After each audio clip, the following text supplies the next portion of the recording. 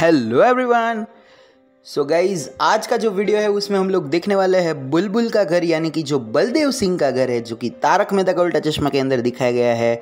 वो, अगर आपने वो एपिसोड्स देखे होंगे, वो ट्रैक वाले, बुलबुल वाले तो आपको पता ही होगा गाइज़ ठीक है?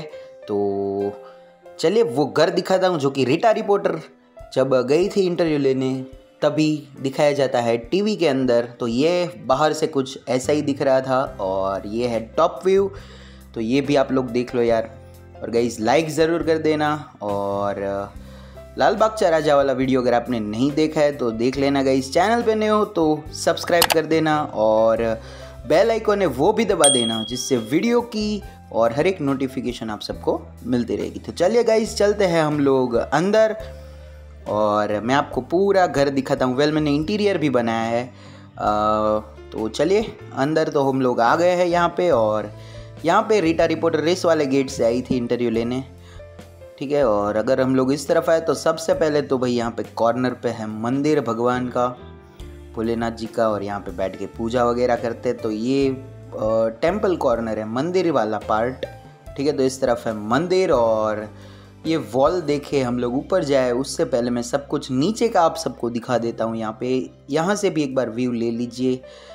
ठीक है, और यहाँ पे है सोफ़ा, चार चार सोफ़ा सेट पड़े यहाँ पे गई और इस तरफ़ हम लोग देख सकते हैं यहाँ पे रीडिंग एरिया जो कि पूरा बुक शेल्फ से यहाँ पे मैंने भर दिया है विथ टेबल एंड सब कुछ।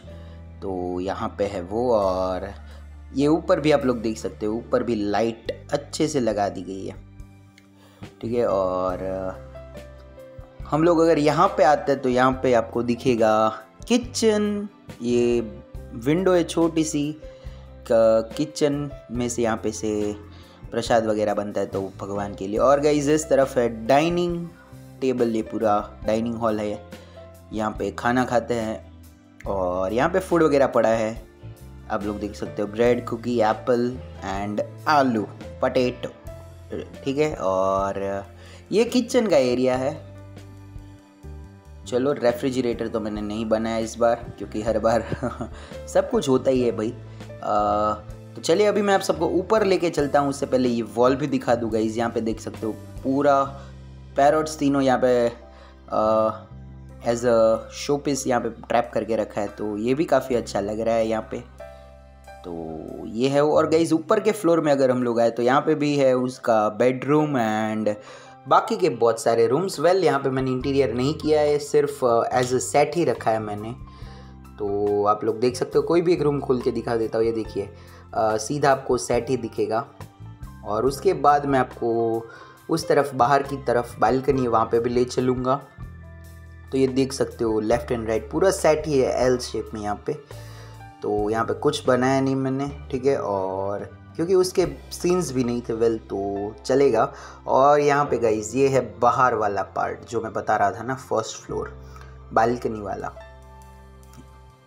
तो ये पार्ट है वो, ये साइड व्यू तो गई जैसे ही कुछ था उसका घर, ठीक है, और बुलबुल भाग के आई थी, क्योंकि उसको शादी नहीं करनी थी। पोपट लाल जी को भी फंसाया और भाग भी गई भाई। तो काफ़ी अच्छा ट्रैक था वो भी। तो गाइज़ कमेंट सेक्शन में बताओ कि कैसा लगा आपको ये पूरा घर और ये इंटीरियर भी बना है वो। तो गाइज़ अगर आपको पसंद आता है तो लाइक ज़रूर कर देना, ठीक है गाइज़ और हाँ गाइज़ ये देखो मैंने कैंडल भी यूज़ की थी, वो भी मैं दिखाता हूँ। यहाँ पे देखो ये गेट के ऊपर कैंडल लगाई है और वहाँ पे भी लगाई है। ये देख सकते हो आप लोग। तो गाइज़ शेयर ज़रूर कीजिएगा अपनी फैमिली और फ्रेंड्स के साथ और ऐसे ही वीडियोस के लिए बने रहिए मेरी चैनल पे। मिलेंगे बहुत ही जल्द हम लोग भाई एक नए वीडियो के साथ, ठीक है guys thank you for watching